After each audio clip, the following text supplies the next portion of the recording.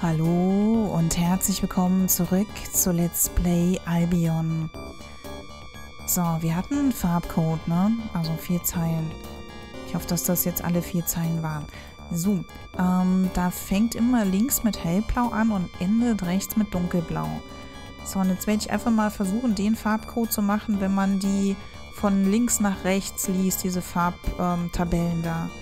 So, hellblau war links, also müsste das die erste Zeile sein. So, jetzt leuchtet die komplette Zeile. Ähm, dann müssen wir rot, insgesamt drei Stück. Drei. Rückwärts ausparken. Dann hell... Moment, dann gelb zwei. So, jetzt haben wir gelb zwei und dann unten in der letzten Zeile nochmal die beiden äußeren.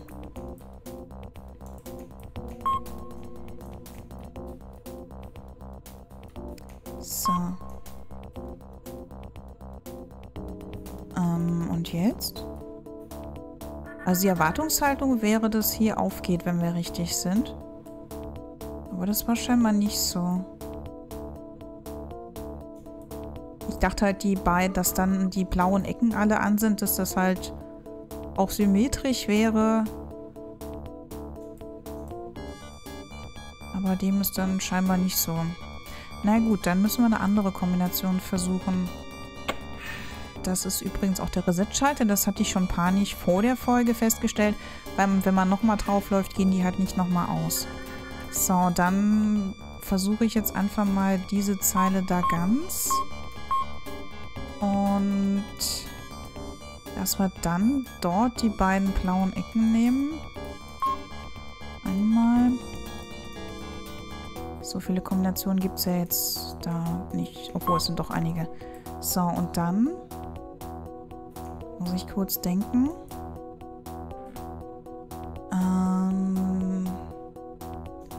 Das ist gelb.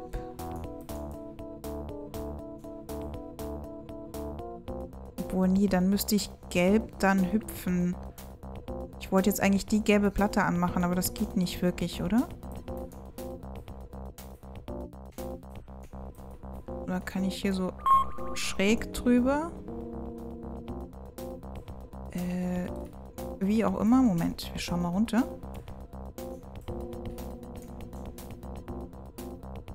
Nee, jetzt habe ich die hellblaue auch angemacht. Das wollte ich nicht. Nee, dann geht die Kombination gar nicht, die ich eigentlich haben wollte. Moment mal, wenn man das jetzt so betrachtet,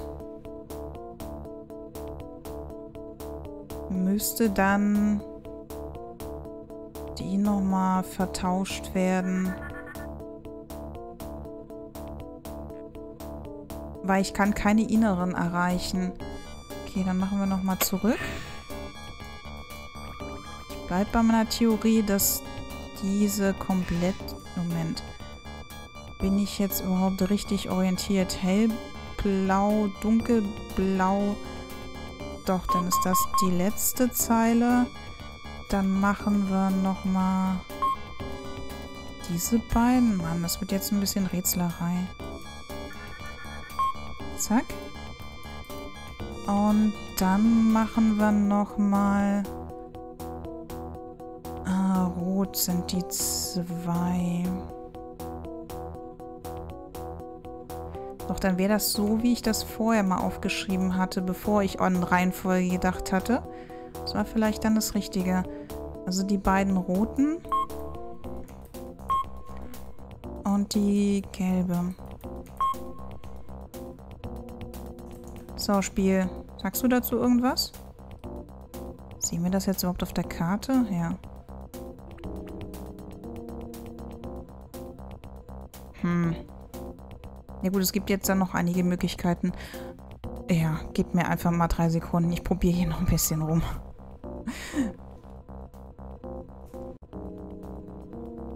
Ich hab's, ich hab's. Ich war noch schon kurz vorm Verzweifeln, weil nie diese verdammte Tür da hinten aufging. Okay, jetzt ist er auch nicht auf.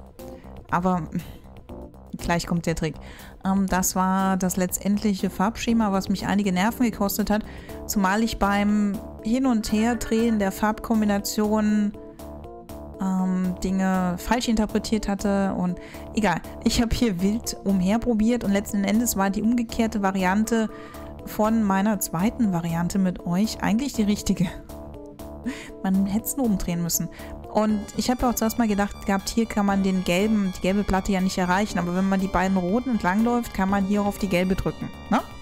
Als ich dann alle Kombinationen ohne die gelbe in der Mitte durch hatte, hatte ich dann mal andersrum probiert und nochmal andersrum. Und irgendwann hat es funktioniert und das hat ein bisschen länger gedauert. So, aber wir drücken jetzt gemeinsam diesen Knopf. Dann gehen die Platten nämlich wieder aus und da hinten ist aufgegangen.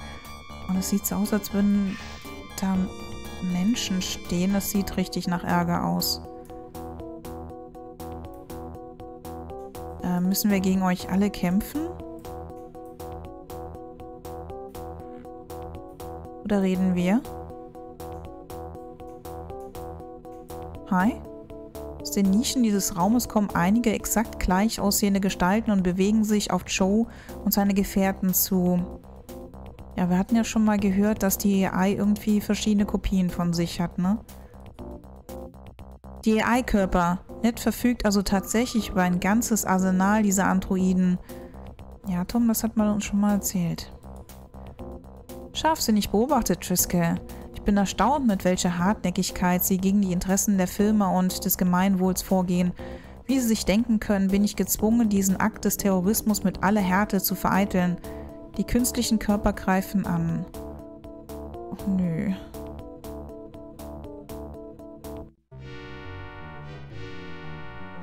Hm, okay, zwei Einser und die restlichen sind Zweier. Oh, wird schon.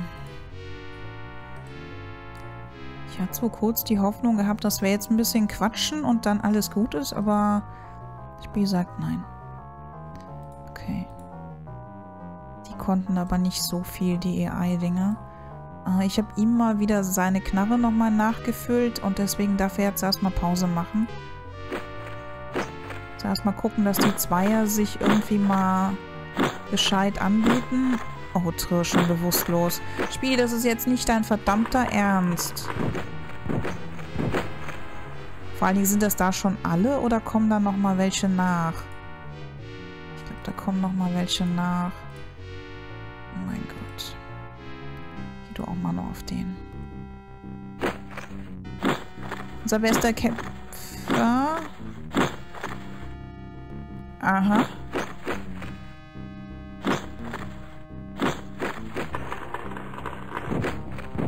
Äh, läuft richtig gut für uns, würde ich sagen. Ähm, okay. Ähm, Tom, du bist jetzt einsam an der Front. Äh, Trill, gib mal bewusstloserweise Tom mal bitte was zu trinken. Heiligsblechler. Okay. Ähm, können wir bitte einen von denen mal sterben lassen? Das fände ich cool.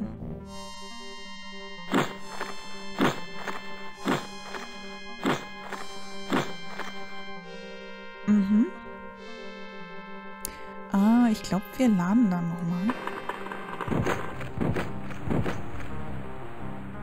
Ich hätte vor allen Dingen auch ähm, Harriets Magie, Göttin, Gedönse machen sollen. Okay, das war sehr ernüchternd. Ähm, ich muss mal kurz schauen, wie lange der erste Teil der Folge ging. Und daraus dann die Restzeit errechnen. Okay. Habe ich hier da. So, Klick hoch, manipulieren. Und ja, ich bin wieder auf die Platte getreten. Kann man das irgendwie vermeiden? Weil das war ja übel. Können wir vielleicht an denen vorbeisprinten und irgendwie die Hasentaktik machen? Wir versuchen das mal. Äh, ja, da kommen die... Ja, AI-Körper, das hatten wir. Ja. Nee, können wir nicht. Okay, Hase fällt aus. Aber vielleicht ist es so wie bei den Service-Robotern, dass wir jetzt einmal das Heftige haben und dann danach nur noch Einzel kommen oder so. An diese Hoffnung klammer ich mich gerade fest. Okay, also mach du dein Göttinnen-Geraffel. Ihr beiden Hübschen geht auf den da. Du schlägst den da. Du knallst auf den da. Und du machst einen Blitzstrahl auf diese Zeile.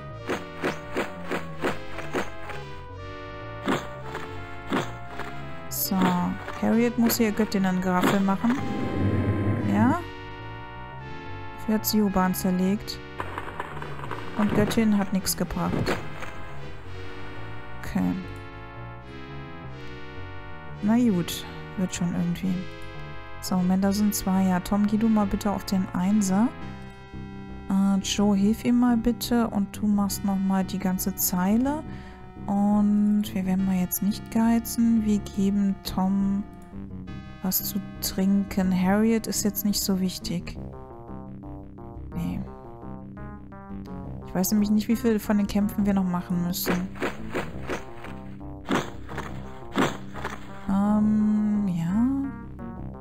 Joe. Ach du Kacke. Tro, nein.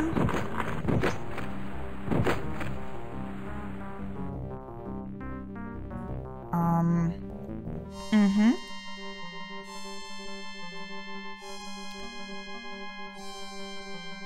Äh, also Göttinnen-Zeugs hat nicht geholfen. Klammer mich an die Hoffnung, dass es so ist wie bei den Service-Robotern. Ähm, dass die anderen einzeln kommen oder so.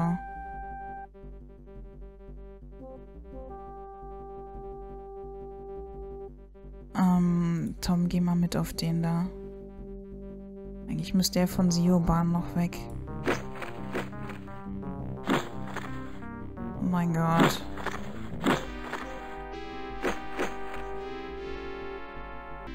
Ja, Kunak hat uns verlassen. Das ist natürlich sehr bedauerlich. Mhm. Okay.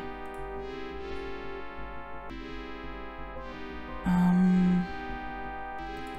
Harriet, meine Gute, ben wir benutzen mal deinen Feuerring da.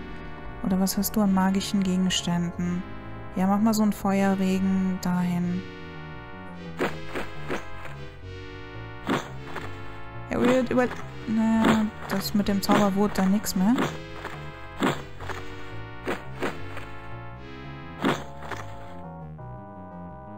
Ja, Trill, dann du machst das schon, ne? Okay. War? Okay, einen hat er noch umgelegt. Ja. Heiligsblechler. Mhm. Also einmal so durch die Gegend flitzen hat nicht funktioniert. So, mach mal auf.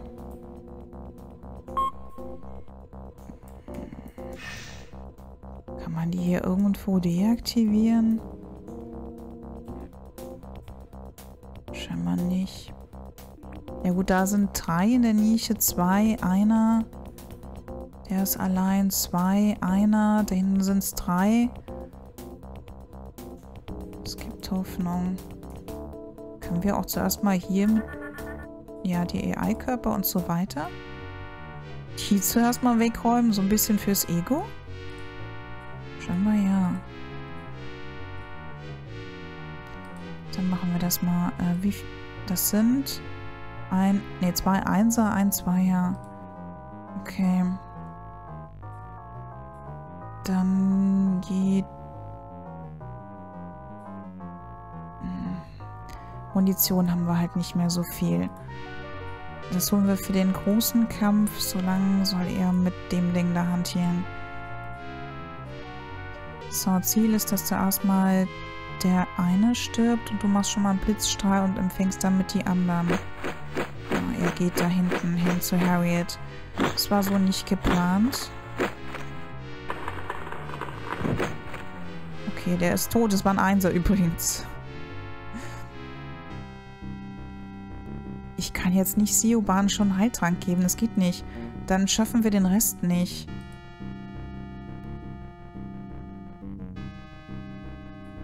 Harriet, heil du mal.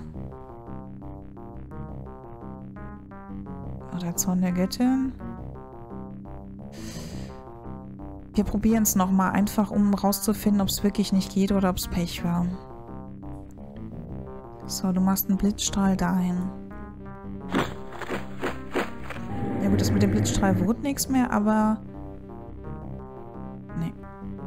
Göttin geht gar nicht auf die. Okay.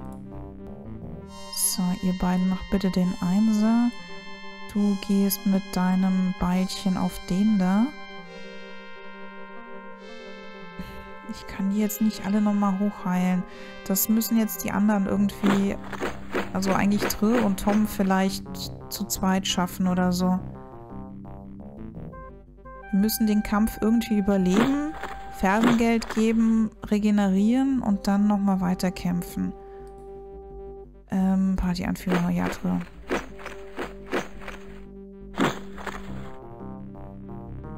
Das könnte knapp werden.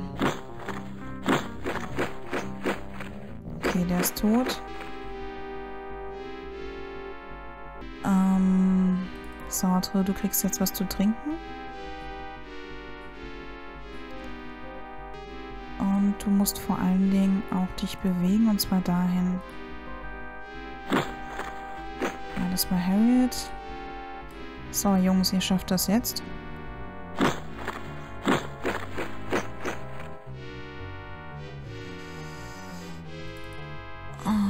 weh tut.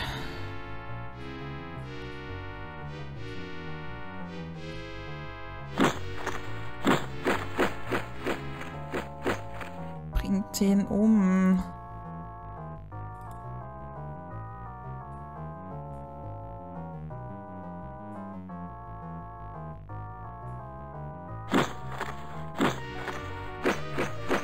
Tötet ihn. Go.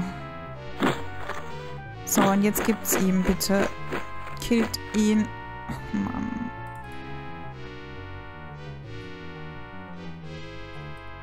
Das kann richtig... Das wird richtig eng. Wenn wir da jetzt nicht irgendwie die Biege machen können... Ja, jetzt ist er tot. Wir haben nochmal so ein großes Gewehr, aber das können höchstens Tom und... Naja, der Wissenschaftler war ähm, wie hieß er nochmal? Unser Wissenschaftler vergisst es. Na, Techniker ist Joe und Pilot ist Tom. Also wir können auch nicht alle mit den Waffen ausstatten, aber wir nehmen mal die große Wumme mit und natürlich die Munition. Dann haben wir jetzt zwei große Wummen und auch zwei Leute, die es tragen können. So, restliche Gegenstände verzichten, ja.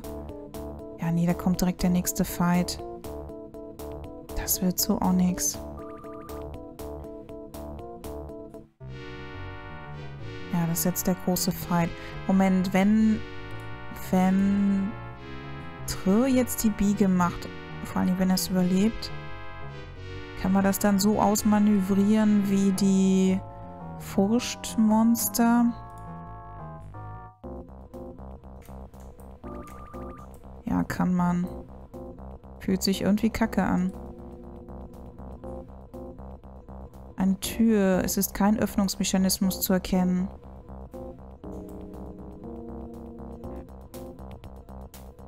Die geht wahrscheinlich auf, wenn alle tot sind. Oder zumindest die Hauptmacht tot ist.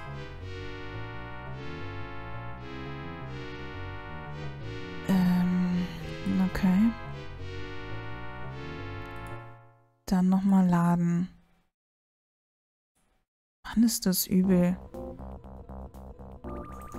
So, also du hast die Knarre an. Es ist auch die schwere Waffe und aktuell besitzen wir nur eine. So, das haben wir soweit gemacht.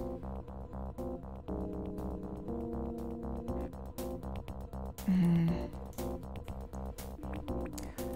Na gut, hilft nichts. Dann knöpfen wir uns mal wieder die Hauptstreitmacht vor und hoffen, dass wir den Rest dann ausmanövrieren können. Gibt es hier sonst noch irgendwas zu sehen? Von hier aus sehe ich die Tür nicht. Sehe ich sie jetzt? Nee. Gibt es hier irgendwas zum dran rumschrauben? Hm. Nee, okay, dann versuchen wir mal nochmal die Hauptstreitmacht.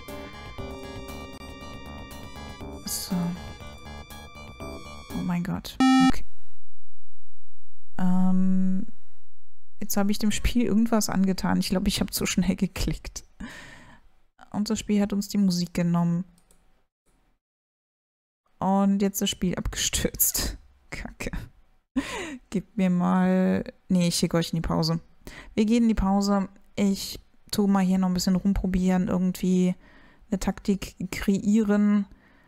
Und dann kann ich euch hoffentlich in der nächsten Folge stolz berichten, wie ich das Ganze irgendwie hinbekommen habe.